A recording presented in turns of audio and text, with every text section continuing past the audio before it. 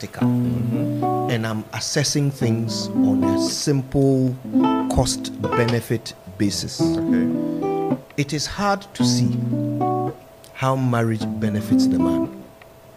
Especially if you are comparing it to how it benefits. A woman, yeah. It's very hard to see. I mean, you think about it.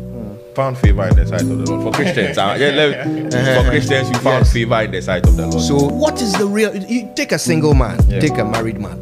What are the things that a married man can do and have that a single man cannot do or have? Name one, and I will leave. So let me name one. A married man has a wife, a single man does not have a wife. A very big thing because having a wife is no small thing. Statistics actually show that married couples actually double their income every single year. Yeah. So being married is actually an asset to both the man and the woman. The thing is to marry properly and to get the right partner. If you do get the right partner, it's a great, great blessing. And that's one of the big benefits of marriage. It gives you a partner. You have someone who is a partner with you. It's like starting a business. Starting a business with a partner and starting a business without a partner.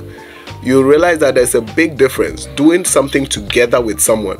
And you have this partner, you have this wife who is with you throughout your whole life, and you can build something meaningful together over time. So, yes, it's very, very beneficial to have that.